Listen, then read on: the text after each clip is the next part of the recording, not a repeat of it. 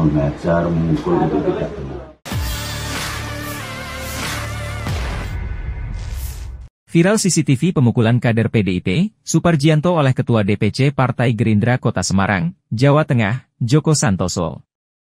Kejadian pemukulan itu terjadi di Jalan Cumi-Cumi 4, Kelurahan Bandar Harjo, Kota Semarang, Jumat, 9 September 2023, malam.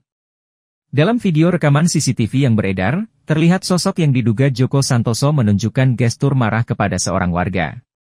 Mengetahui aksinya itu viral, Joko Santoso pun langsung memberikan klarifikasi dan membantah telah memukul korban. Joko menyebut dalam aksi tersebut dirinya hanya sebatas mendorong dan tidak ada aksi memukul atau menyebabkan korban mengalami luka-luka. Ia mengungkapkan semua narasi yang beredar di media sosial tersebut tidaklah benar. Saya sama kali tidak melakukan hal yang seceroboh itu. Sekelas saya untuk melakukan tangan saya untuk mukul orang itu, saya tidak mungkin melakukan itu.